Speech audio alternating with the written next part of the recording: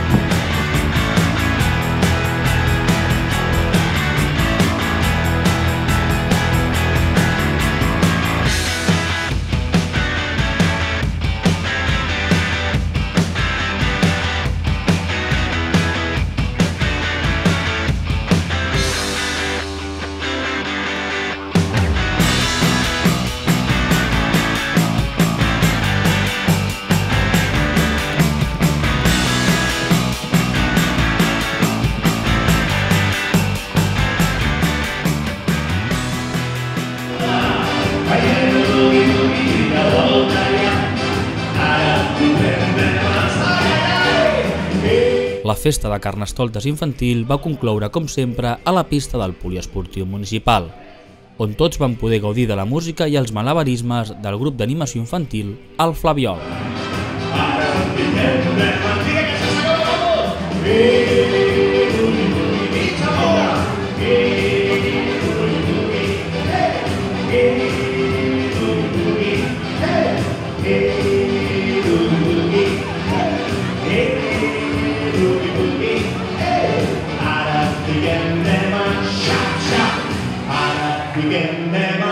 I am